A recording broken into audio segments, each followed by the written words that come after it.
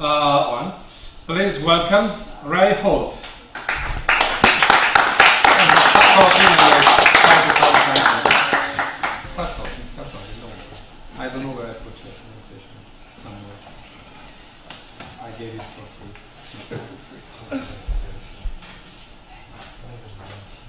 free. Leo says I can talk for four hours, but I only need two hours. Are you okay? My story is about baseball, airplanes, and digital circuits. And all of them came together about the same time. When I was 12 years old, my neighbor was moving. He said, Ray, do you want all my radio equipment? I said, no. Didn't like it. He said, but I have a big chair. If you take my radio equipment, you can have the big chair. I said, great. and it was like this tall. So I took everything. He said, well, let me show you how to fix radios. Open them up, blow the dust out, turn them on, if the tubes are black, you change them in this. So I started fixing radios at 12 years old, making money, $5 a radio. And I was also repairing bicycles, so mm, by the time I was 14, I was making uh, $100 a month. with Radios, bicycles, so it was nice. Slides. Slides. You can, know, here. Obviously, an Italian invented this beautiful device in Of 1604. And, uh, maybe I can use it to- which is Cool. slides. Which, which is this one. No, yes, okay. Don't Can I look try at- some here? Yeah, you can. Don't look at my numbers. I'll just use this. Yeah. It's, it's uh, Gaston. So it's this way. Doesn't work Okay. I will, I, I, you can go up and forth and I will push buttons. Okay. Um, That's it. Yeah. so let's go back. Yeah. Um, um, apart from every joke, this presentation will last about one hour. So I would say him to respect his time uh, more or less as I did with progress. So I'm so sorry again. But you may ask questions anytime, uh, get up and stretch, whatever you want. So, I did not like radios, I love baseball. All American boys love baseball. My dream was to be a professional baseball player. So I was average student in school. Uh, when I was my last year of secondary school, I played on a baseball team, and uh, seven of the players played professional baseball. So I knew I was going to. I knew my day was coming that I would get a call to play professional baseball. When I graduated from uh, secondary school, they told me one thing do not go into engineering. And they did not say why. They just said, don't go into engineering. I learned later the reason they said that was because I was very bad uh, mechanically. I had very low mechanical ability. But I had good math. But engineering at that time was mechanical. So they said, don't go into engineering. So I said, that's okay, I want to play baseball. So I go to uh, college, my first year in college, uh, not very good. And I quit. I just walked out. But the second half of that year was the baseball time, so I joined college again to play baseball. And I made the team, and the coach said, before we play the season, I have to check your academic records, your grades. And he checked the grades, and I had all F's, zeros, because I quit the first time. He said, I'm sorry, you can't play. Give me, give me five minutes in which you push the button. Okay. I have to check for the interview. Okay. Okay. Okay. So keep talking. Right? I'll be, I'll be back. okay. So, no baseball. A friend of mine was going to school in northern Idaho, that's up by Canada. And he was home for the summer and he said, Ray, just come to school with me. I play football and you can stay with me and we'll have a fun time. Why not? They had a baseball team. So, I went up there and I made the baseball team and and uh, they said, what, what do you want to study? And I said, well, not engineering. They said, well, here's the list. Look down the list and see what you want to study. And I saw forestry. I like the outdoors, so I'll study forestry. So I signed up for forestry. For three years, I studied forestry and not engineering. But math was okay, calculus was, was good. And then uh, the dean or the head man in forestry said, uh, Ray, um, your chemistry is really bad. Uh, I don't think you should stay in forestry. Uh, why don't you take this class in physics? And it was physics of electricity. Well, I didn't like electricity, but I repaired radios, so I thought, okay, I'll take it. Loved it. 100% straight A's in physics of electricity. Perfect paper, perfect form, everything. And all around me were engineers in the class. And I said, I could be an engineer, electrical engineer. And so I switched and I started over again and I changed schools and I went to a school that taught engineering, electronic engineering, hands on. So one hour class, three hours hands on.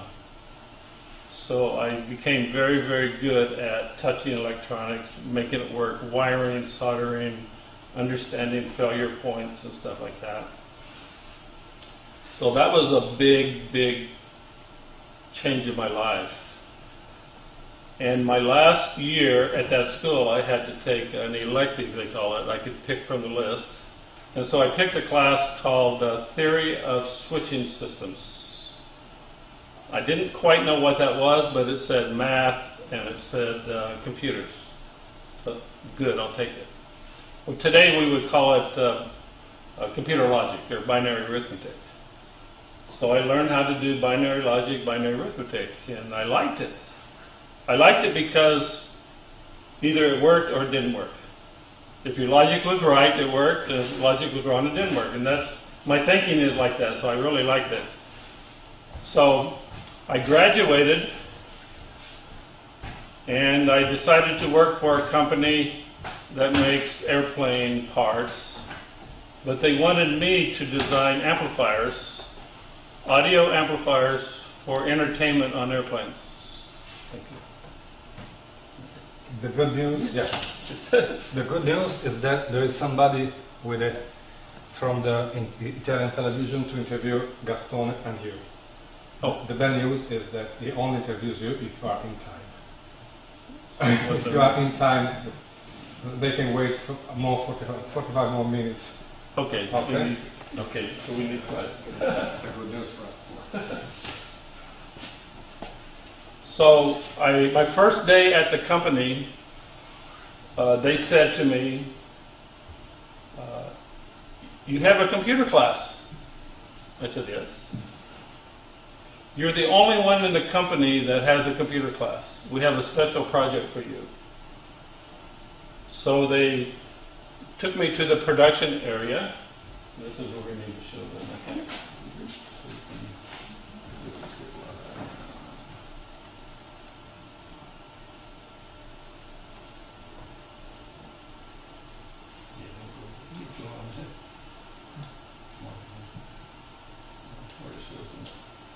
Right.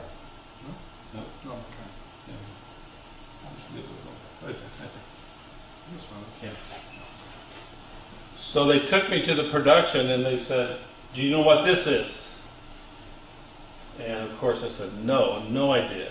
I said, It looks like a transmission in a car. They said, No. And it's about, about this big. They said, That's a mechanical computer on the F 4 Phantom jet. That's a jet that America was using in Vietnam.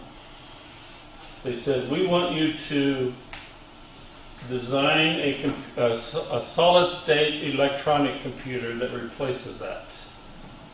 I remember my mechanical ability is really bad because they said don't go into engineering. And now they're asking me with one computer class to replace that computer. Now, for a young engineer, I was 24 years old, first job, it was like, this is crazy. How can they ask me to do that? But I learned later that nobody else knew digital and didn't want to learn, and I was a young engineer. I had good hands-on, and that's what they wanted.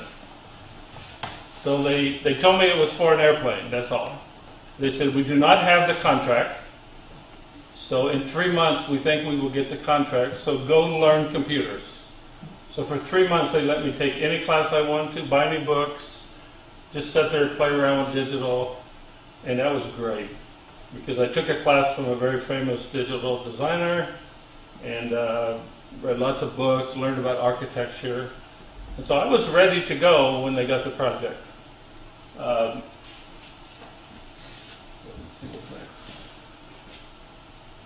was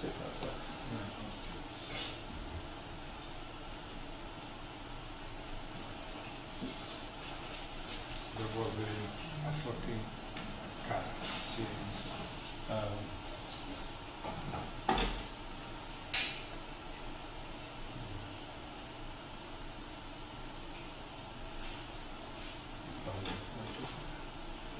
yeah, to the end. Yeah. I, I, I pushed the rightmost key. Okay, that's all. You have all the slides. You want to repeat it? Yeah. Okay, don't go. Keep going back, back, back. Okay. Right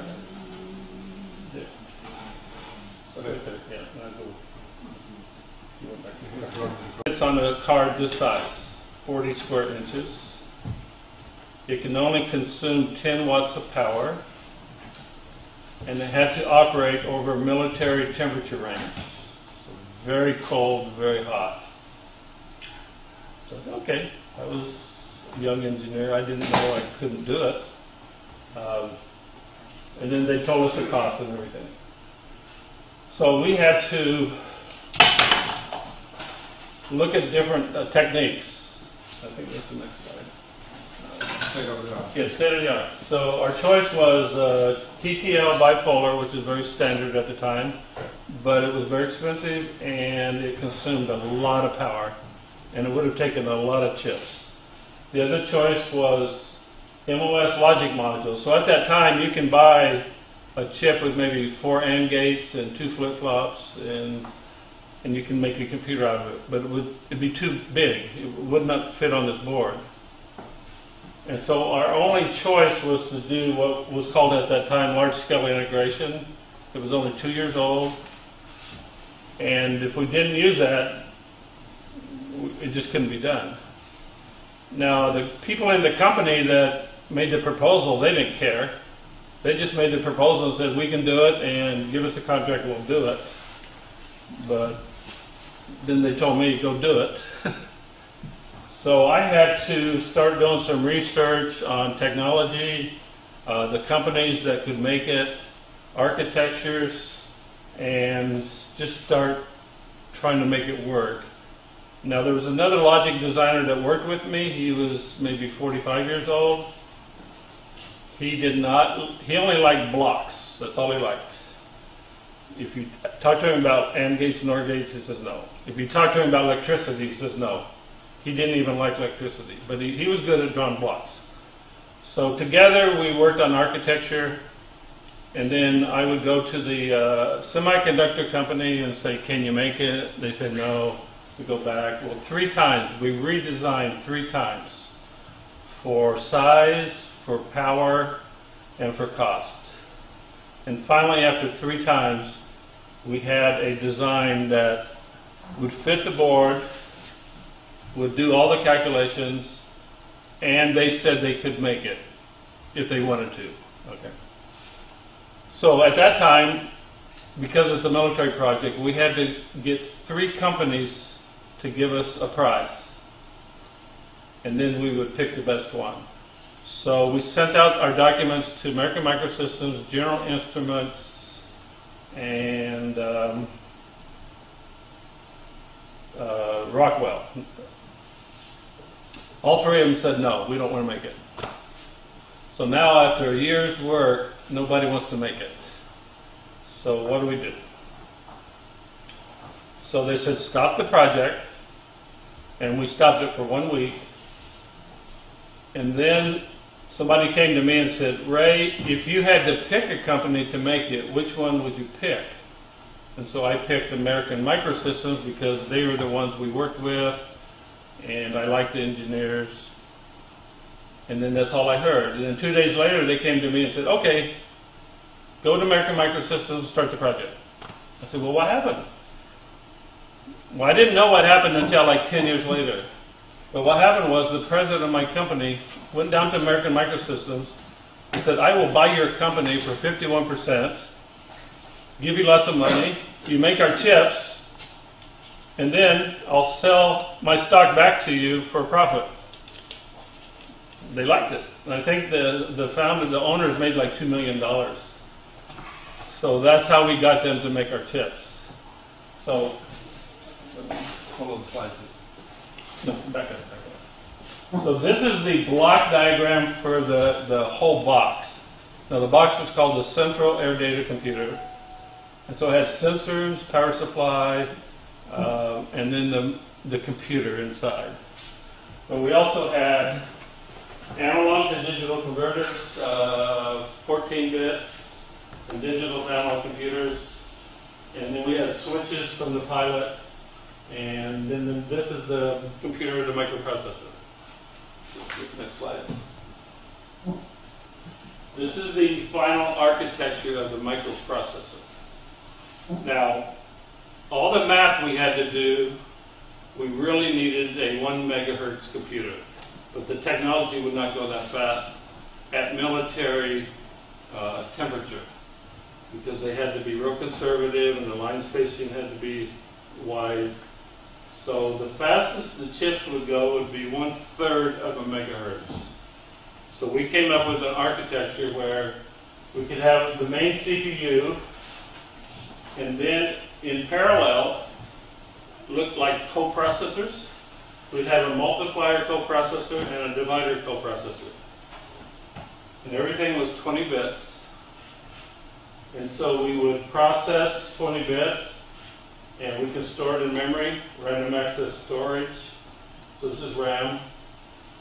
And then we pull the data and maybe divide and store it, pull the data, multiply, or go back to the CPU for adding, subtracting. So that's, and everything was going on in parallel. So we could be adding two numbers here and dividing two 20-bit numbers here and multiplying two 20 bits here at the same time. So we just had to write the program or we knew what we were doing.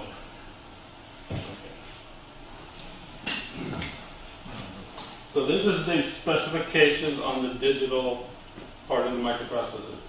So one third of a kilohertz. That was considered very, very fast.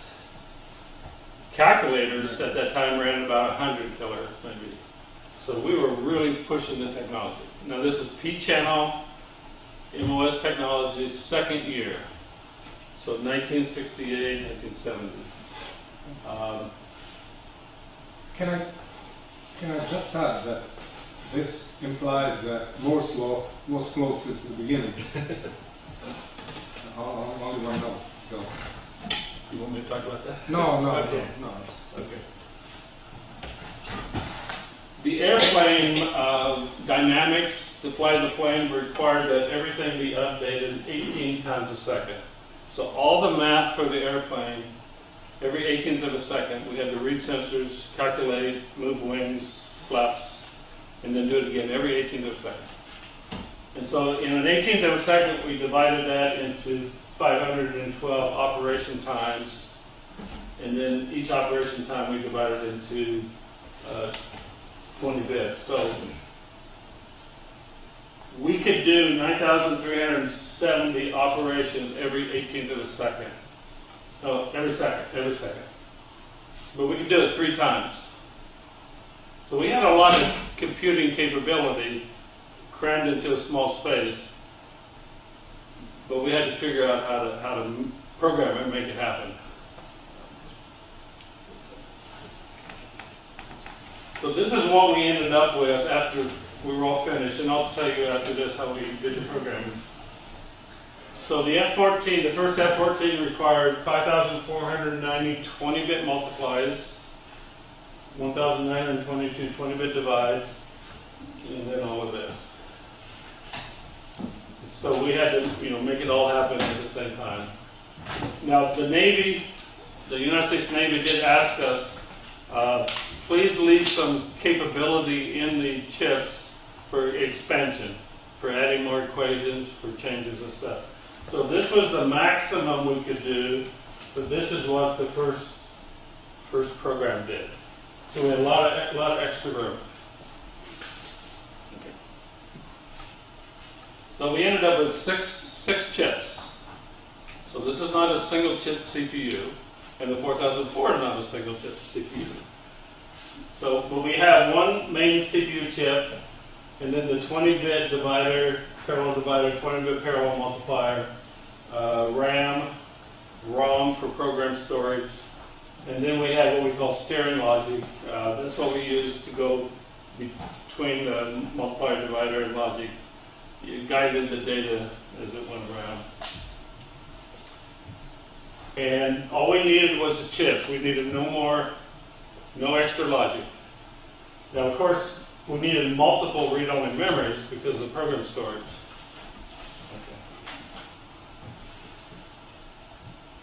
So this is what the first, this is what we were able to get on one board. One multiplier, one parallel divider, one CPU, three uh, chips to move the logic, move the data around, uh, three random access memories, RAM, and 19 ROMs to store the program. And this represents how many transistors was on each chip. So the, all the all the chips together was seven, 74,442 transistors. Now at that time, that's kind of was the measurement of your power or measurement of how big your chips are. This ROM was the biggest chip made at that time. Had 3,268 transistors. And the ROM represents the programming. So the programming part of the computer was stored in the ROM, and I'll tell you in a little bit how we did that program. So this is a picture of the chips.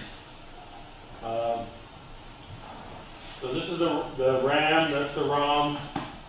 Uh, this is the steering. This is the uh, uh, CPU. And these two are the multiply divider. Now, how many here have uh, designed uh, adders, binary adders? Is there any logic designers here you, you designed binary adders? Well, if you have a 20-bit multiplier, you have to have 20 adders. And so you add shift, add shift, add shift. So you notice on the chip here, if you look, it's kind of the same thing here, here, here, here, here. Well, there's 20 of them. So each one of these is an adder. But because there's 20, we couldn't have 20 big ones. So we had to get smaller and smaller and smaller and smaller. So I would do the logic design, and I would go to the chip manufacturer, and they would they would lay it out, and they said no, too big because we have to get 20 of them. Go back, redesign, and try to get more clever in the logic. But we also had what's called carry look ahead. So you add two numbers, and you had to predict the carry at the end because it all happened at the same time. So there's a lot of logic on there for predicting the carry. So I the 20-bit parallel multiplier. This is 20-bit parallel divider. And these are the actual chips which you saw in the book. These are the same chips that were in the book. So these were the first chips off the production line. Now you may ask, well, how, how did I how did I keep them? this was a secret project. Well, the Navy, the United States Navy was a little bit sloppy. Uh, you know, they, they sent a, product, a promotional person, no offense, to take pictures and everything, and big deal, and then they just left them laying there. So I said, hmm, I think they're important. So, so I just kept them, and uh, nobody said anything. So that's why I have them. They would have put them in the trash. Because honestly, nobody knew that this was important. They just knew it's working, and that's all they needed to know. It's working. Okay. Okay, this is the number of instructions. So every chip had, had its own set of instructions. So there's a total of 133 instructions for all the chips. Okay. So how do we program it? We had no assemblers, no compilers. We didn't have time. By the time the hardware was working, we only had like three or four months to write the program. And then we had to get the chips made. The read-only memory chips took three months. So after we think it was working, we had to wait three months to see if it's going to work. And if it didn't, three more months. So we, it had to be right. Or we had to convince ourselves it's right. So we developed a software simulator, and my brother was able to, he was a programmer from Stanford University. So they let him work with me. He developed a software simulator that simulated every transistor in Fortran. So that's that's like unheard of. but that's all we had. Fortran running on the company's IBM uh, 1104, 1103, and that's that's a slow computer compared to today. So big program running on. So every time we ran a simulation, it took time, and we couldn't do the whole thing at one time. We just had to do little pieces. And then I developed the hardware prototype. So we took standard chips like four gates in a module, and we tried to build it all up and you know, build, showed it in hardware. So we had two ways of testing the program. Next. This was the typical mathematics, and it's typical for um, for the atmosphere because it's all pressure. And I guess all the pressure differences are all represented by polynomials. So we had two inputs from the airplane. This is my little model. And on the front of every airplane, commercial and military, there's a, there's a pressure tube. And it's down and sticking forward. And that's for dynamic pressure for when the plane's moving. And then underneath is one that goes down and backwards. And that measures, measures the pressure as if the plane is standing in the air. So between dynamic and static pressure, they can calculate altitude, ground speed, airspeed, angle, um, several other things. Temperature, Temperature. outside temperature. Like in a car, you know, out, temperature in the air, they can do it from pressure. so we had lots of equations like this to do. And it was all polynomials. So I was very happy in college that I, I at least understood polynomials. I can't say I loved them. No college student loves polynomials, but at least I understood them. So this is a typical equation. It is the equation for angle of attack. And that's the, just whatever the angle is, x, y, z, three-dimensional angle. Now, why, why would you need to know the angle of attack of a fighter jet airplane? Any idea? Okay, it has missiles. And so when you fire the missile, you want it to go perpendicular to the plane and not this way. So the angle of attack always told the missile system how to drop and fire the missile. Okay, next. Uh, this is the, the rest. So this is the kind of math we did. We, you know, we did a divide of the static and dynamic pressure. We had to scale it by 1.3, and then we had to limit the values, and then subtract this. And every 18th of a second we do that, and then the answer would go into other polynomials for, for other kinds of uh, calculations. Okay.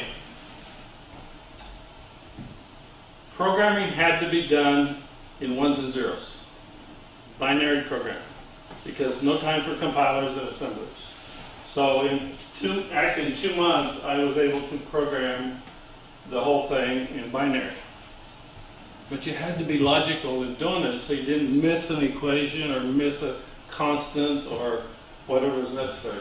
So the first step after the mathematics, the next thing I did was make a chart like this of every equation.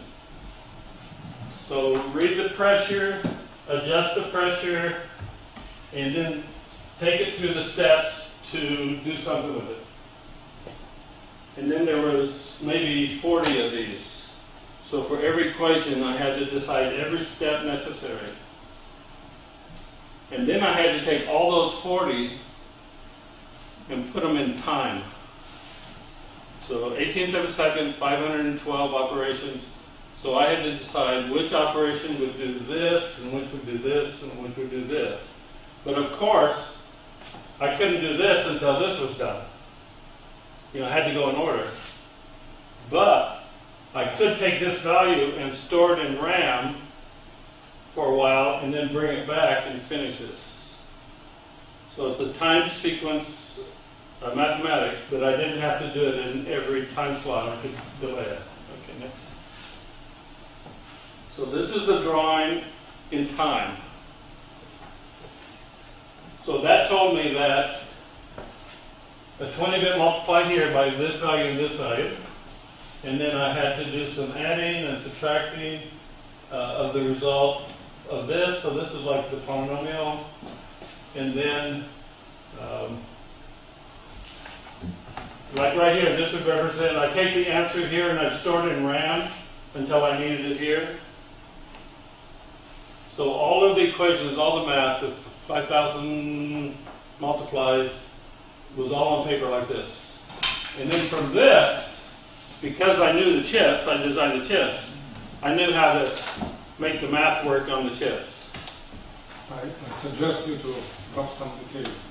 Okay, we're almost finished. So this is, this is the program. Ones and zeros from that drawing and lots and lots of sheets like this. Then we take this data, we put it into the software simulator, into the hardware, and then we would test it, test it, test it, make sure the wings moved. And this was the very first airplane to move the wings by computer. So it's called fly-by-wire. So if the computer stopped, airplane stopped. Uh, so this is just a printout of the read-only memory. So this is the actual program. And when the chips were made, we would send them this, but we'd send them a paper tape before floppies. Just a big paper tape with holes in it, and that's the program. And we just hope that they read it right. Uh, more, keep. And then my brother was able to uh, take my time drawing and print it back out on what was called a CalComp printer. It's a graphics printer. And so we had a, uh, a printout and showing all the values, intermediate values, so we can we can check on the simulator if the values are right. Okay. Now, this is the last part of the story. The program was all finished. And the United States Navy said, uh, this is like six months before the project was supposed to, the airplane was supposed to fly. They said, uh, send us your report on the history of your chips. It's called uh, MTBF, mean time between failure. Because they did not like you using components that had no history. They want to make sure the components are perfect. Long history of never failing. Well, this is two-year-old technology, no history. So we had to tell them that, and they were very mad. And they uh, said, stop the project, and they said, we're going to give it to someone else, which they couldn't. And Bendix, Bendix was the next, and Bendix, Bendix said, we don't want it. So they came back to me and they said, okay, while the plane is flying, can you test all your chips for failure? 100%. Now, Never done before. And I didn't quite know how to do it, but it turned out to be really simple because, uh, as I always say, uh, three plus three is six, and if you get four, something's wrong. So I said, okay, I'll just figure out some ones and zero bit patterns, and I'll run them through the multiply divider and the adder. And if I get the wrong answer, then there's a problem. There's a shorted line, an open line, a bad transistor. So I came up with a pattern, and we were able to 100% check the, uh, really all the logic except the multiplying divider. And it was really, really complex. And we were able to 98% check that while it was flying. Now, what happens if it says, okay, we found a bad chip, the computer's not working right? The Navy said, okay, put two computers in the plane. So now we have two boards, two complete computers. If one fails, switch over to the other one. So we had a parallel coprocessor, microprocessor, dual redundancy, and then we had to tell the pilot if there was a problem, turn the light on. Well, the pilots don't like lights, so they said take it out. We don't care if a computer fails. We're going to finish our mission and we'll go back. And so that's what happened. Okay, next. This is the hardware prototype. So this was the sensor, the pressure sensor, uh, static dynamic from the ports. This is the logic board, logic implementation. So all of this became the chips, and this is the gauges for the pilot. A long time, people would ask me, okay, what, what did you really do? What, tell us what you think you've accomplished or the project accomplished. Now, I want to make a point. This was not me. It was 25 people. Two of us on the logic, on the computer, but we had designers for the power supply, the A to D, the D to A, the box, the board all of them highly, highly qualified engineers, the best group of engineers I ever worked for. Uh, and many of them went on to become uh, semiconductor chip designers uh, after this project. So this is what I uh, feel that we've accomplished. I've been promoting this about 10 years. Nobody has ever doubted it, uh, not even Intel. Uh, and then from a digital designer point of view, these are some of the techniques that we use that looking back were, were kind of unique. Um, so we did execution pipelining. That means the instruction for the next math was sent to the computer while the last math was being worked. So we overlapped uh, the computation and instructions. So that saves some time in transferring data. Uh, parallel processing, the coprocessors. Intel didn't do a coprocessor until like 10 years later. Um, a read-only memory. Uh, normally they would be addressed from the outside the chip, but we actually put a counter inside the chip so we can just say next, next, next, or jump. Um, Okay, so the airplane lasted uh, 30 years. It's the longest production airplane in the United States. Uh, I think the fourth year of the airplane, uh, President Nixon sold 100 F-14s to Iran when Iran was friendly to the United States, and then you know Iran did not become friendly later. So they have a, right now they have 30 F-14s that still fly. When the F-14 was retired in the United States, our military department said, destroy every one, shred them up. And so one by one, they've been destroying all the F-14s, and I understand there's about 20 left right now. I have been trying to get a computer out of it, at least for a museum or something, and they said no. The, the law, the law says destroy them, so they're destroying them. Uh, so all the F-14s in the museums in the United States have no electronics. They pull them all out. Um, but at least they saved some of the planes. Um, when the airplane retired, now I had a website. The web- I said, the airplane retired. Every country knows how it works. They said, no, Iran still is flying the airplane. We take out some information. And it's mainly, Have you been for some flights on it? did I? Yes? No, I tried. I did not see the airplane with my eyes until 2006, 2012, 2012. I could not see one. I, I was turn around and get out of here. they don't, But they don't care. also for testing to check uh, during the flight, you have never been inside. No, the computer worked the first time, and they took the box and they put the lid on it and they sent it to Grumman Aircraft across the country to New York, and it worked there. And I heard that this first computer, the same design, worked for all 700, and they had no problems. So Good work. amazing. well, the technology. 30 year old technology is still flying. Yeah. and that's, that's amazing. So the company that made the chips did an amazing job. And that was American Microsystems. So this has been an.